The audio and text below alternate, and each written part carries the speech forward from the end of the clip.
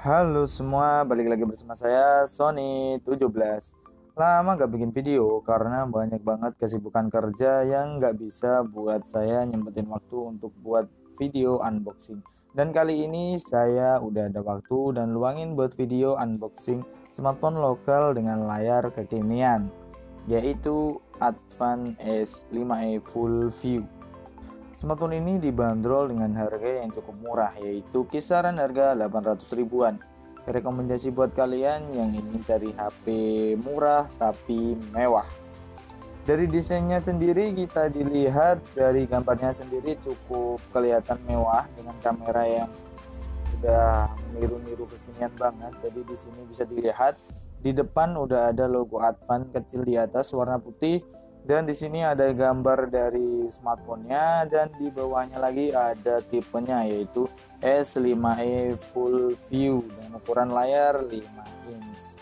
Di atas ada logo Advan dan kita pindah ke samping kanan ada IDOS Operation System dan kemudian di samping kiri juga ada logo Advan di bawahnya lagi ada di mana Advan ini dibuat yaitu dibuat di Indonesia dan di mana PT-nya diproduksi. Dan di sini saya mendapatkan warna black. Ini adalah nomor seri emailnya dan tipenya Advan S5 Full View. Ini rekomendasi buat kalian.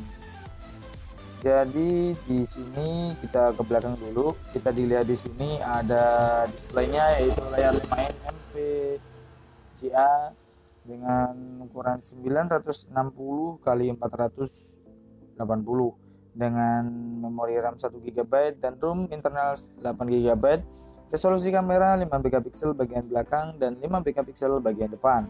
Di sini juga ada WiFi band LED bukan LED maksudnya LTE chat dan di sini ada Bluetooth. Di sini juga udah support kabel OTG dan G sensor dan GPS. Di sini cukup unik, harga 800 ribuan udah support OTG baru nyadar. Dan di bawah ini bisa dilihat ada resolusi layar 18 banding 9 dengan ukuran 5 in dan RAM 1 GB ada advanced security dan ada gambar OTG jadi untuk kelihatannya kita nggak usah lama-lama langsung aja kita buka smartphone-nya. Dan ini dia bentuknya yang dibungkus dengan plastik Wajar banget dibungkus dengan plastik karena smartphone ini dibanderol dengan harga ya cukup murah yaitu 800 ribuan. Jadi kita singkirin dulu plastiknya ini, kita singkirin juga HP-nya taruh sini. Kita lihat dalamnya ada baterai. Baterainya ini sendiri berdaya kapasitas 2000 mAh. Kita singkirkan, kita singkirkan plastik. Di sini ada panduan cepat Advan S5 Full View kemudian kita tata dulu kita rapikan kita singkirin ini dusnya kita tata rapikan dulu. Dan kemudian ini adalah panduan dan ketentuan garansi dan juga ada kartu garansinya yang udah ada di dalam.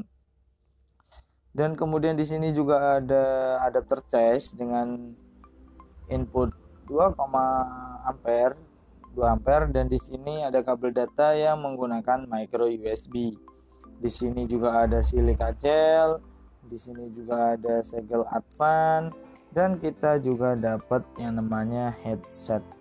Oke headsetnya ya boleh mungkin gitu juga. Kita singkirin dulu untuk ininya dan kita tata dulu untuk penasaran bagaimana desain ataupun wallpaper dari gambarnya. Nanti kita nyalakan kita lihat luarnya. Jadi back casingnya ini terlihat seperti kaca dan ini resolusi ukuran layarnya 5 megapiksel. Di sini bisa dilihat ada kilauan-kilauan seperti macam kaca. Jadi kalau dilihat dipegang itu cukup enak. Bisa dilihat sendiri. Ini padahal bahannya cuma plastik jadi kelihatan seperti kaca. Kelihatan mewah. Jadi kalau bisa dibikin judul sih HP mewah tapi murah dan di sini juga dari desainnya cukup unik agak memanjang di samping kanan ada tombol power dan juga di atasnya ada volume rocker plus dan down bisa dilihat di depannya ukuran layar 5 in dan di sini di bagian atas ada kamera 5 megapiksel dan di sampingnya ada speaker untuk telepon, speaker telepon. Dan di sini kita lihat di sampingnya kelihatan ada chrome-chrome-nya. Di atas ada port micro USB dan sampingnya lagi ada audio jack.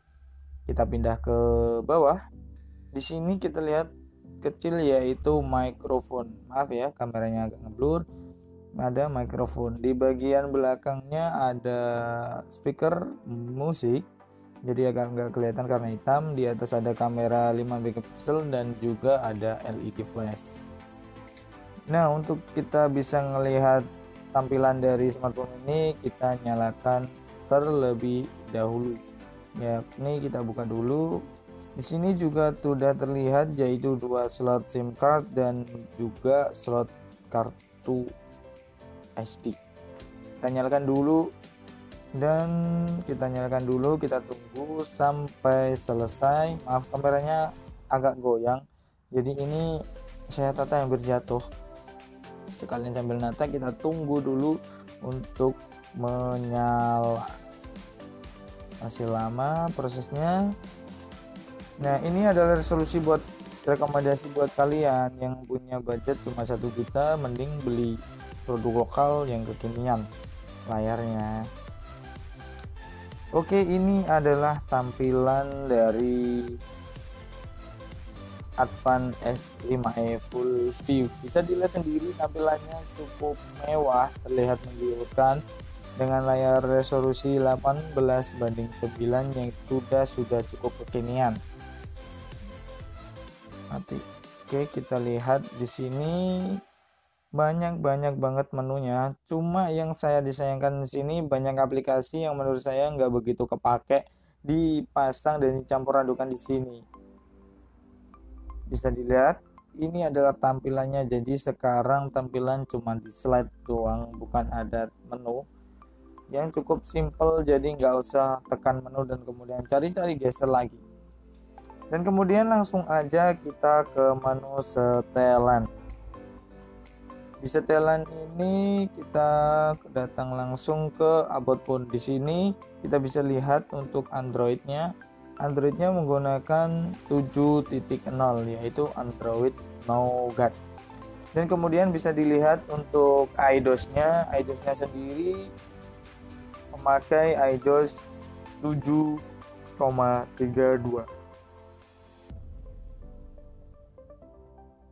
Oke, ini udah mentok.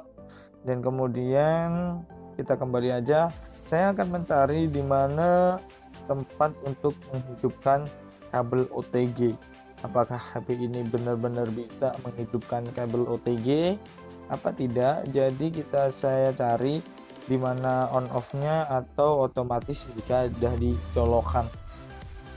Dan juga masih belum ketemu di mana tempatnya ya udah langsung aja kita lewatin sebentar nunggu ini nyari mulu nggak ketemu ketemu dan kemudian kita lewatin dulu kita menuju ke penyimpanan.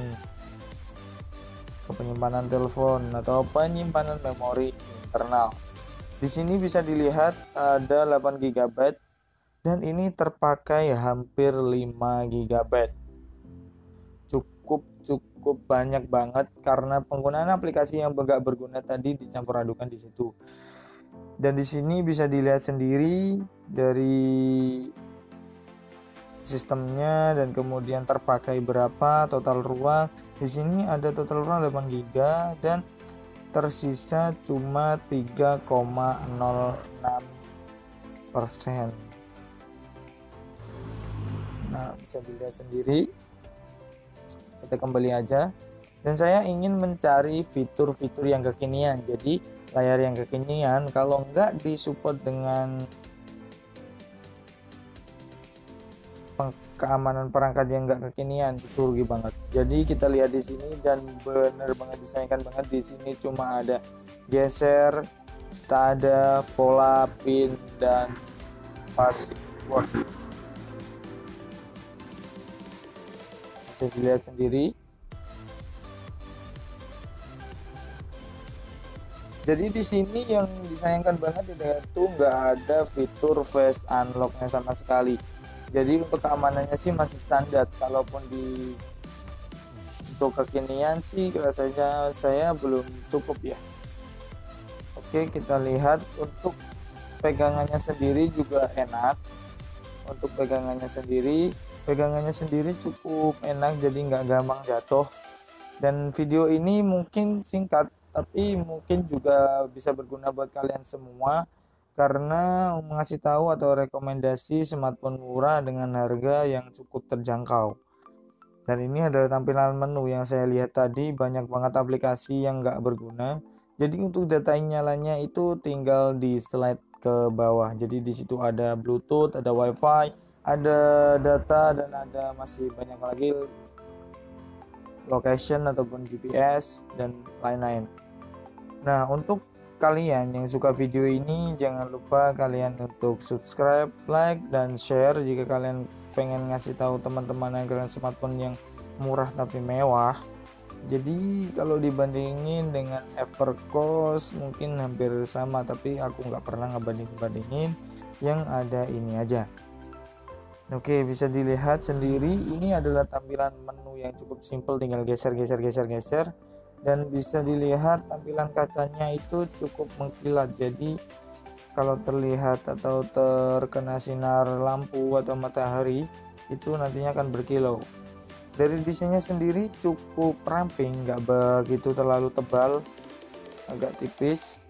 Dan kemudian untuk genggamannya sih enak karena smartphone ini menggunakan solusi yang panjang bukan melebar jadi anak zaman sekarang mengikuti tren yang seperti itu. Nah itu adalah video singkat yang bisa saya sampaikan. Semoga kalian bisa terhibur dan rekomendasi buat kalian semua untuk handphone-handphone yang menurut saya layak untuk di unboxing jadi jangan lupa lagi saya ingatkan jangan lupa untuk like subscribe dan share ke teman kalian. Jika kalian ingin komen silahkan komen di bawah. Koreksi mana yang kurang baik nanti saya akan perbaiki jadi karena kalianlah saya bisa seperti ini. Terima kasih sampai jumpa di video selanjutnya. Goodbye